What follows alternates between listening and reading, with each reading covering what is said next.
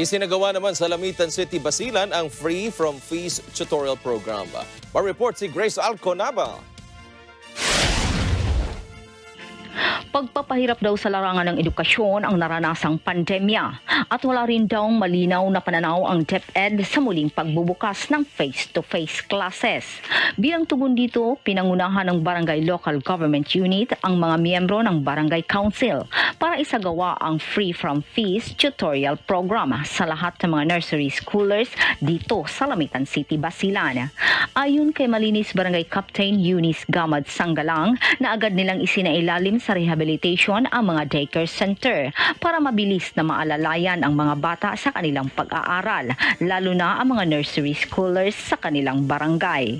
Nilagyan din ng mga amenities tulad ng reading corner at indoor playground upang makapagbigay ito ng kasiyahan sa mga bata habang nag-aaral.